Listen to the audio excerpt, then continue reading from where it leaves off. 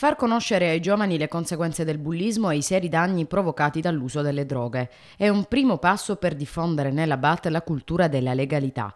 Nasce con questi obiettivi a Barletta il presidio di Libera, l'associazione nazionale contro tutte le mafie.